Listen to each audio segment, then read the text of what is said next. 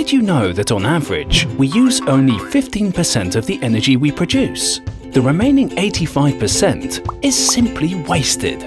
Industries and governments are not looking at this problem with the right lenses.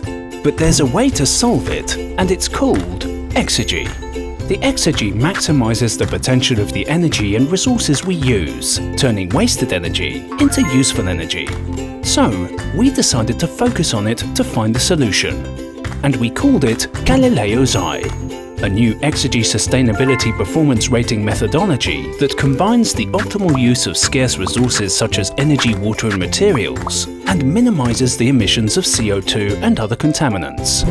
This project started 10 years ago in the USA and comprises of four phases.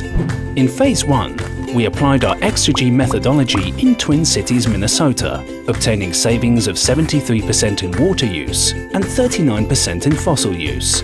In phases 2 and 3, we will extend it to the entire state of Minnesota and a waste treatment system in Medellin, Colombia.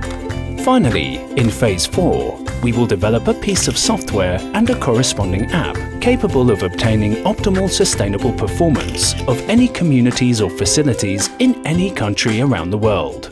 The Galileo's Eye software will help you save energy and resources, so you will make the right decision when purchasing goods and services, investing in sustainable companies, and supporting sustainable government policies. Support us to make our ideas come to life.